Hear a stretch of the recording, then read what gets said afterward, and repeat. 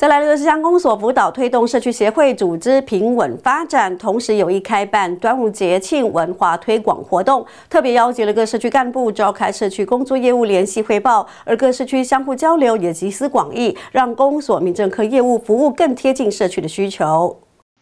一百一十二年度社区发展工作业务第一次联席汇报，瑞士乡公所邀请各社区相互交流经验分享，由牛里来承接整个。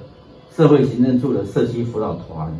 透过社区深耕计划的争取推动，让复原三村社区文化与产业等多面向发展，造福社区居民。因此，对于计划的申请与执行工作的妹妹嘎嘎，也不忘耳提面命。大概这个钱大概会有二三十万以上，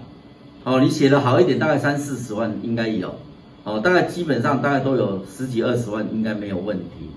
哦，这个是深耕的部分。乡公所民政课也针对今年端午节等各项传统文化节庆的推广教育活动，也与社区干部集思广益，让民政文化推广教育的业务工作能更接地气。公所啊，今年可能会办一个跟端午节有相关的活动啦。那我想要问看看各个社区有没有什么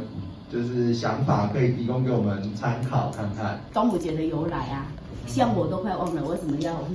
裸溪醉啊，这边诶立蛋啊，其实那个都可以加入在类似，让小朋友让我们的有点像相互教学，